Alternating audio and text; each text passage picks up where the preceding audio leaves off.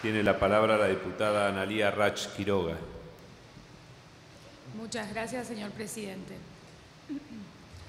La extorsión de los fondos buitres tiene un correlato local con las declaraciones del presidente de la República y del ministro de Economía. Es falso y de falsedad absoluta que no aprobar esta iniciativa legislativa implique ajuste o hiperinflación. Lo mismo nos dijeron con el megacanje y el final ruinoso del año 2001 generó la peor crisis de nuestra historia reciente. Siempre han utilizado el miedo para extorsionar, Total, los bancos y los fondos buitres se llenan de plata y que el pueblo argentino sufra las consecuencias. La propuesta formulada desde este bloque de diputados nacionales del Frente para la Victoria es justa, equitativa y razonable.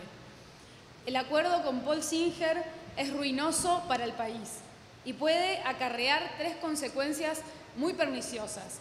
Promueve el riesgo, por un lado, de legitimar acciones judiciales por los bonistas que adhirieron voluntariamente al canje, el 93% de los bonistas, para exigir iguales condiciones.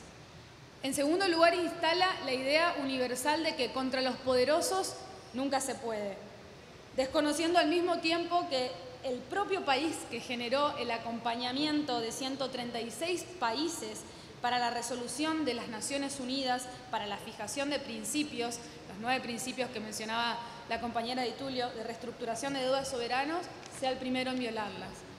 Y en tercer lugar, quiebra un principio esencial de coherencia en materia legislativa desde el año 2005, que afecta nuestra credibilidad y confianza como país para futuros procesos, generando dos efectos directos. Tendríamos que pagar para el 7% al contado el mismo monto que para pagar al 93% y en 30 años y no tenemos la certeza de poder conformar al 100% de los acreedores con riesgos legales ulteriores que vuelva a foja cero la negociación en curso. Esta negociación excede la confrontación política. Es una política de Estado, nos involucra a todos. Pretendemos y exigimos en nuestra condición de país soberano un trato justo, equitativo y razonable lo cual si demanda más tiempo nos debe tener a todos trabajando juntos por el mismo objetivo. Tenemos que cerrar este proceso de reestructuración, pero para siempre.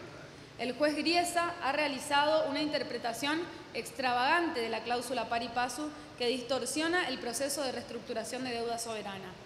La estrategia más adecuada es no apresurarse. Los acuerdos que se han presentado al Congreso no alcanza al más del 3,5% del total de los holdouts equivalente al 7%. No cierra a todos. La posición debería ser exigir una negociación con el 100% de los holdouts. Nuestro país no puede aceptar que el juez Griesa imponga condiciones a un país soberano exigiendo la derogación de leyes que marcaron una impronta en la negociación.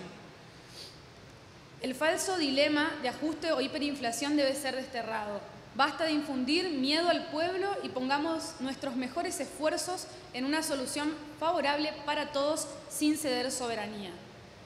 El Gobierno desde el principio ha implementado un ajuste feroz.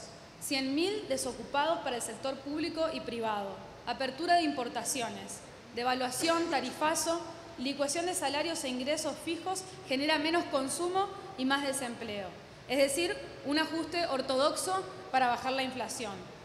Esto no tiene nada que ver con las negociaciones con los fondos buitres, sino con las decisiones tomadas por el Gobierno Nacional. Decían que venían a combatir la pobreza y solamente la aumentaron. Hoy, con falsos argumentos, intentan abrir una nueva etapa de endeudamiento irracional que condiciona a las futuras generaciones de nuestro país. Las deudas se pagan, en términos razonables, justos y equitativos. Las estafas no. La aplicación del más crudo neoliberalismo tiene sus consecuencias, la mala praxis también.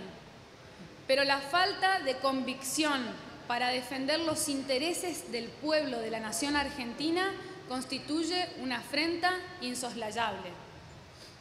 Esto vale para todos.